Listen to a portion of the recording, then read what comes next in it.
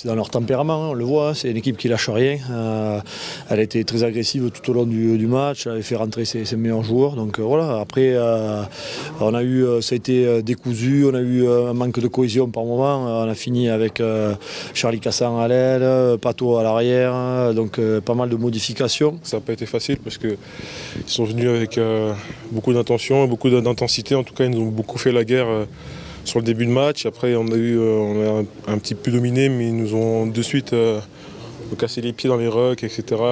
C'était vraiment euh, très compliqué jusqu'au bout. Et on, a, la chance de marquer à plusieurs reprises, mais c'était vraiment un match compliqué.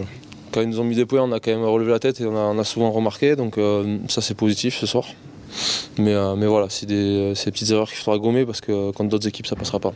C'est très positif, plus que positif on, est très bien rentré dans cette compétition et, puis voilà, on va basculer sur le top 14 et, c'est bien, on a mis du rythme ce soir. On est à 20 points, hein, donc euh, on va pas faire la fine de bouche non plus. Euh, euh, c'était ces deux dernières journées, c'était rebasculer là-dessus, cette compétition, on l'a bien fait, même si dire, tout le monde nous a donné favori sur, sur les deux matchs, mais il fallait l'assumer, le faire proprement et donc ça c'est plutôt bien.